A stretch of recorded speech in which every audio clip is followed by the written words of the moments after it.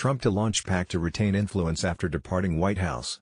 To view the full article, click the first link in the description below.